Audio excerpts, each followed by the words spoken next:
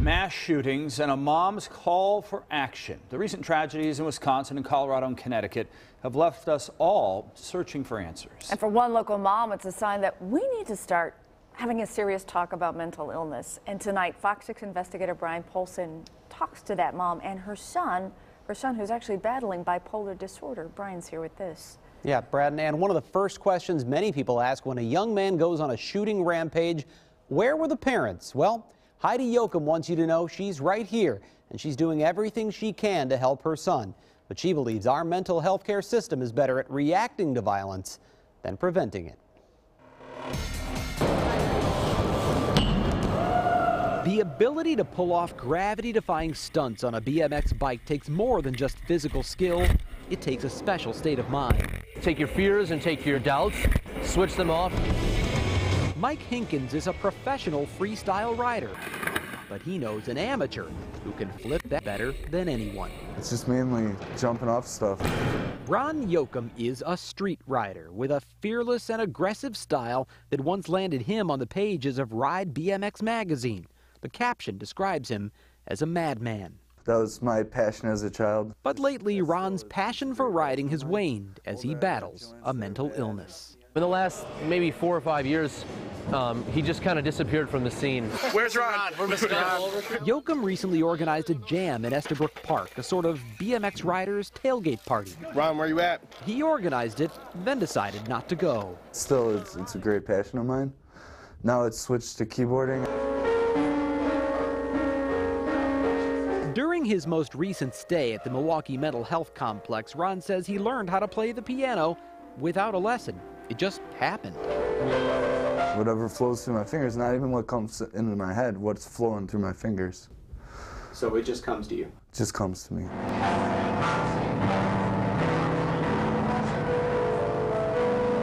He even convinced a local piano bar to let him play one night. Until the owner cut him off. It went great. It's chaotic. His mom says it's just the latest in a long series of delusions. It's like what's going on in his mind is coming through in the music. Bipolar disorder is not something most people are eager to talk about, but Heidi Yoakum felt compelled to share her son's story.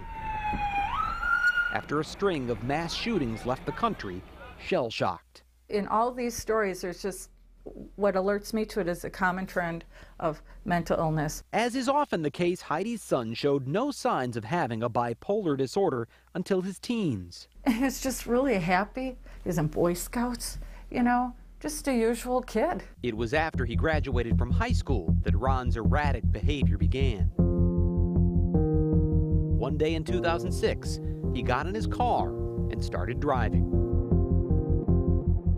I thought I was being awarded $93 billion to help the Katrina victims. He just drove till he ran out of gas. He ended up near Monroe, Wisconsin, where he walked into a stranger's house in search of the Holy Grail.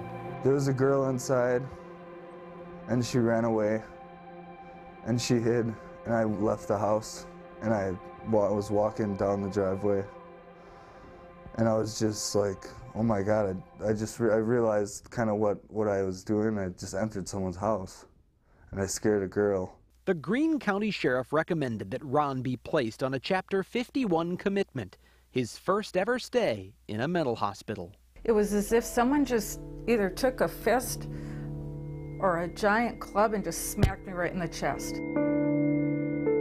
Ron was given a powerful cocktail of antipsychotic medications, but after he was released, he stopped taking them. One year later, he tried to kill himself with a butcher knife. I took a knife to my throat and I did it three times, just like this. Once again, Ron was committed, medicated, and released. It's like a revolving door with the hospital and court, back out, back in, back out. And uh, that's what's so exhausting. Heidi says the mental health care system is confusing and alienating, especially to the parents of an adult. It's fine if we can keep him here. We're like, okay, Ron, here are your meds. And he's just going along like a little soldier and doing what he should. But he's like, no, I feel okay. Most of the time, when they gave him to me, I stopped right away.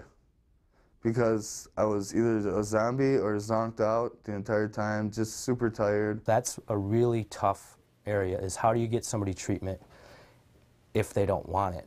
Peter Hoeffel says treatment is effective and it's crucial to managing an illness of the brain. He's executive director of the National Alliance on Mental Illness of Greater Milwaukee. Heart disease untreated, bad outcome. Diabetes untreated, bad outcome. Cancer untreated, bad outcome.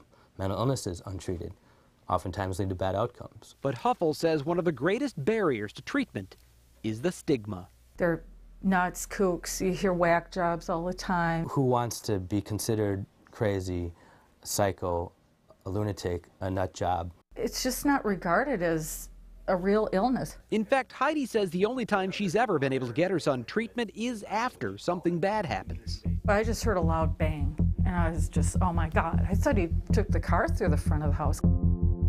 In 2009, Ron drove circles around his parents' yard in Kewaskum, honking the horn and demanding to be let inside. He eventually got out and kicked down the front door. For me to knock down that door was was like like taking down a kingdom. He was arrested and charged with disorderly conduct, but later found not guilty by reason of mental disease. Once again, he was committed and released. There comes a time where you have to go to another level. Heidi isn't sure what to do for her son. He's once again showing signs of delusions, and he's living unsupervised in a Southside apartment.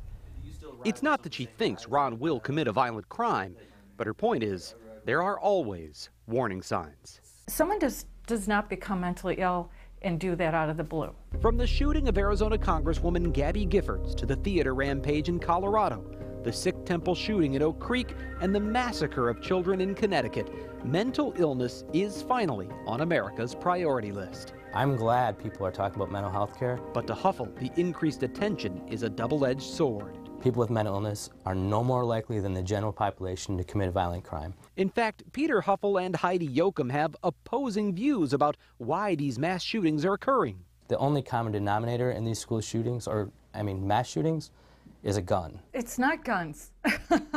that's, that's not the problem. The problem is the person behind the gun. But they agree that the mental health care system needs improvement.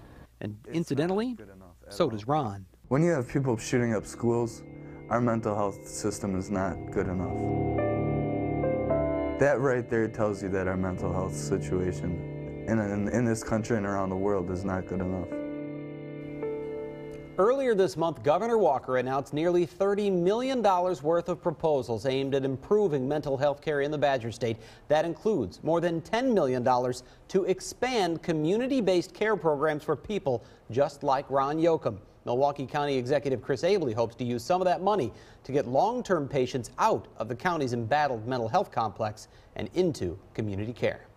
Well, as for Ron, you said he has his own apartment. Is he totally alone or does he get any kind of assistance? Well, he did tell me that he's getting some assistance from Transitional Living Services. It's a nonprofit organization that helps people in a situation. They take them grocery shopping, offer other, other kinds of supportive services. But by and large, he really is on his own, and he says he wants it that way. He says he's taking his meds now because the doctors have finally found the right mix, and he's finding a purpose through his faith. Still, his mom is concerned, especially with some of the delusional thinking that he's been having lately and some of the things that have happened in the past. You know, and so many times we've heard when things happen, it's when someone has gone off their meds and um, Yeah. they just become unglued. And that's the tough spot for her is how do you make sure that he's taking them? Right. For her and so many others, Sure, as you absolutely. point out. Thank you, Brian, so much. Really thought provoking. Wow. Okay, well, how safe are you when you go to church in